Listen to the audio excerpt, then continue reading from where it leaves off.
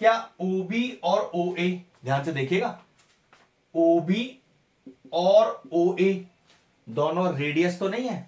भाई सर्कल के सेंटर से सर्कल के ऊपर कोई भी लाइन रेडियस कहलाती है तो बिल्कुल बराबर है। तो रीजन आ जाएगा रेडियस तो यहाँ पर वही हो जाएगा कि दो साइड आपस में बराबर है तो आमने सामने वाले एंगल भी आपस में बराबर होंगे।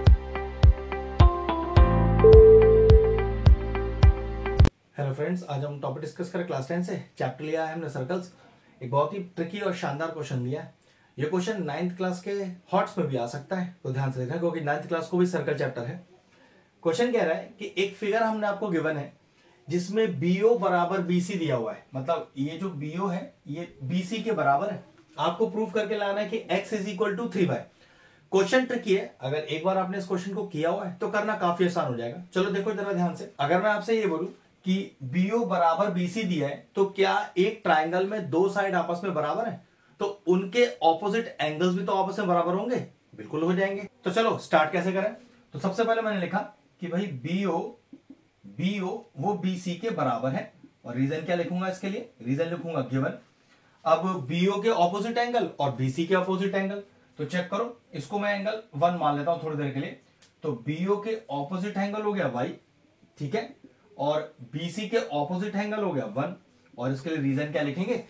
Angle opposite to equal sides are equal कि अगर किसी ट्राइंगल में दो साइड आपस में बराबर है तो उसके आमने सामने वाले एंगल भी आपस में बराबर होंगे। ठीक? अब मेन ट्रिक थोड़ा सा यहाँ छुपा हुआ है कि ये जो एंगल टू है, ध्यान से देखिएगा, ये जो एंगल टू है, वो ट्राइंगल बी सी का एक्सटीरियर एंगल है। बिल्कुल एक्सटीरियर एंगल है। तो क्या exterior angle interior opposite angle के सम के बराबर होता है? बिल्कुल होता है। तो क्या लिख सकते हैं? Angle two is equal to angle two is equal to one plus y one plus y और रीजन क्या डालेंगे?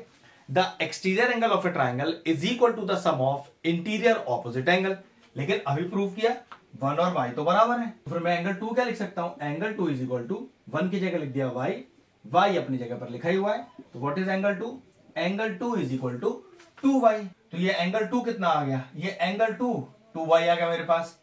अब जरा ध्यान से देखो। क्या ओ बी और OA ध्यान से देखिएगा।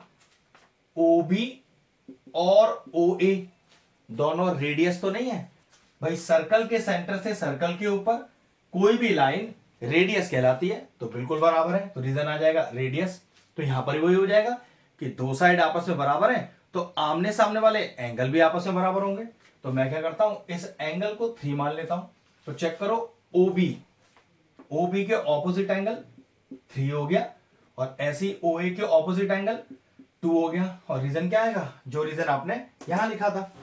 Angle opposite to equal side are equal तो क्या पता चला? अब एंगल टू अपने को टू वाई पता है। तो एंगल थ्री भी कितना हो गया? भाई, वो भी टू वाई हो गया। तो इसको भी मैंने लिख दिया। Two y. बस एक छोटी सी चीज़ करनी रह गई है। यहाँ एक मानो एंगल फोर और यहाँ लगा लो स्ट्रेट एंगल वो किस तरह से देखो जरा। एक्स मैं इस वाले एक्स की बात कर रहा हूँ।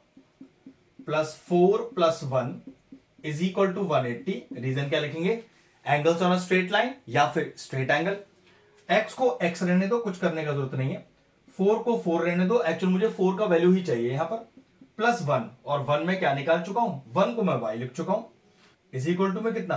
180 तो जरा यहाँ से फोर का वैल्यू निकालना।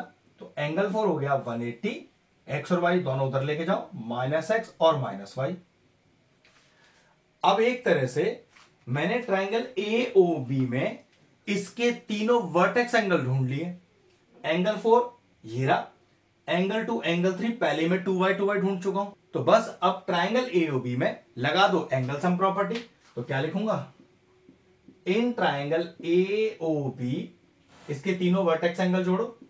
Angle two plus angle three plus angle four is equal to one eighty reason हो गया angle sum property of triangle सारी वैल्यूज़ मुझे पता है? पुट करते हैं। तो एंगल टू कितना है?